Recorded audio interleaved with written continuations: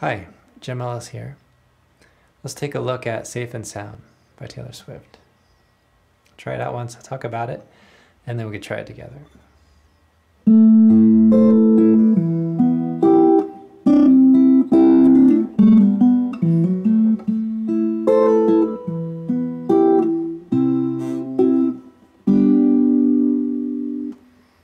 Okay, so we have a couple shapes. We have a, a D minor shape,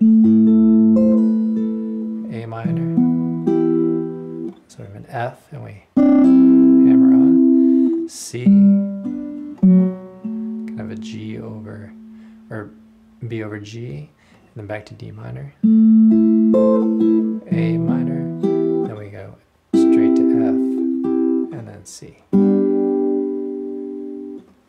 Let's try it together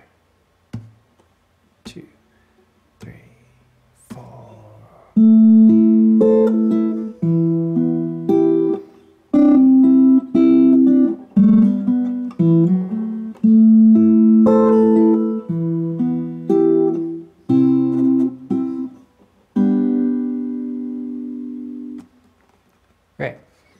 Thanks for watching, and remember to follow on Facebook and Twitter, and subscribe to the YouTube channel and you can always find me at guitar-resource.com.